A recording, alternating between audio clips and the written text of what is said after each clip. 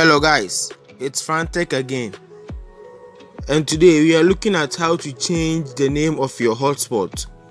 How to change the name of your personal hotspot on your Apple product or on your iPhone.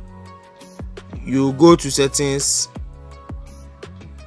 and then you go to where our hotspot is. You open the personal hotspot and then you get to realize that the title of our hotspot or the name of our hotspot is iphone. You see it over here as iphone. So iphone is the name of our personal hotspot. But we would want to change this name to a different name or to a customized name you see.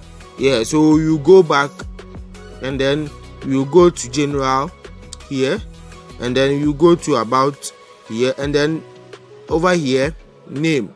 You tap on it you tap on the name section here and then you change the name.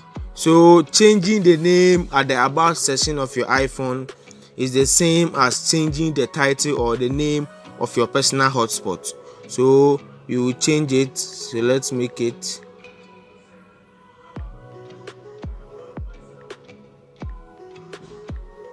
so you are changing it to Frantech iphone app. So very very simple. And then you tap on the done. So we've changed the name. Let's go and check our personal hotspots name to see the implication here. So we'll go to personal hotspot. Then we are saying the name to be changed to Frantech iphone hub it's so so simple.